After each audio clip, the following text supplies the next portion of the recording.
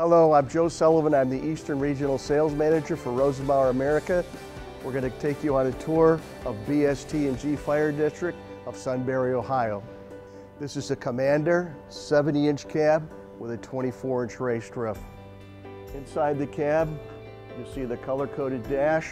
This truck is also equipped with a smart steering wheel.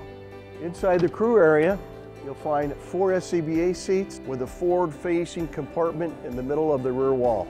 The BST&G body features a 750-gallon water tank, speed lays up front, slide-out tool tray, slide-out drop-down shelf. All of the tool boards, the trays, and the shelves are adjustable.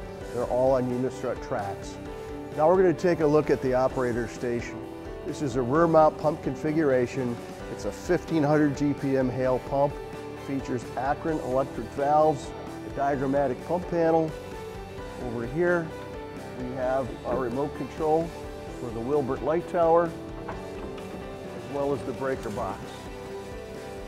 The rear of the BST&G unit features our easy climb ladder. Other than the speed lays up front, discharges and suctions are in the rear with easy pump access.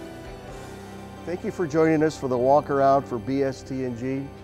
Come visit us at booth number 5200.